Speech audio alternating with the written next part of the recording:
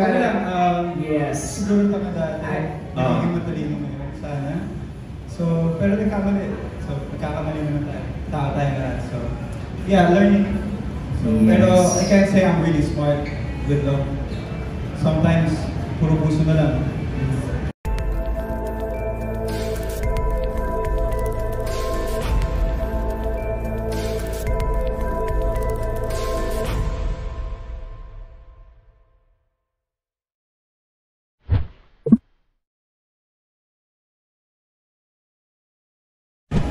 Actually, it's a blessing this this uh, series.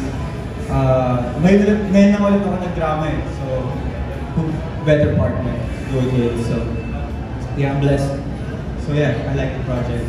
It's really refreshing. Pwede Not too much drama next time though. Siguro, like, like more happy. More, more happy. Naka-dalawang sampal ako din. Ay, apat ko. Apat. Ah, ganun lang.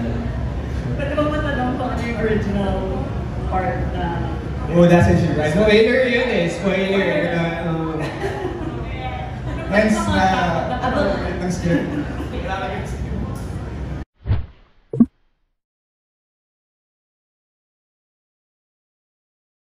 Actually, isa naman sabi ko, may kasabihan kami sa set, um, hindi tayo susuko. At, okay lang sumuka, pero hindi tayo susuko. So, hindi tayo susuko, I guess.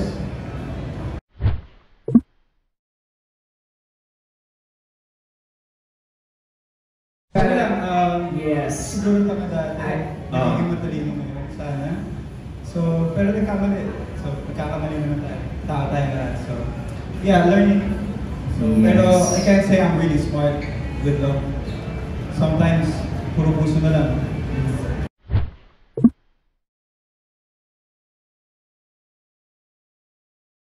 Uh, I just want to thank Direk. Um, denied niya ako to the shoot. First drama ulit after a long time, so much needed. Riza was so lovely kasi siya lang naman halos lahat a bit of Ren and a bit of Colleen from one scene lang. So it was lovely. And enjoyed our Jordan, si Jordan, wonderful actress. Yeah. She was also good, so lovely experience.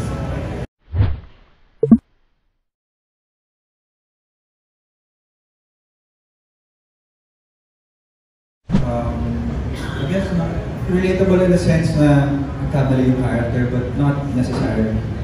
So, so yeah, both.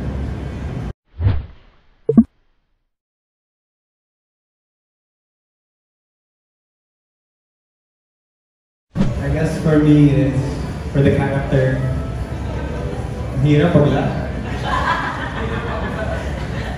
Pero yung sa akin talaga, ano, it's okay to make a mistake. Pero when you make a mistake, own up to it.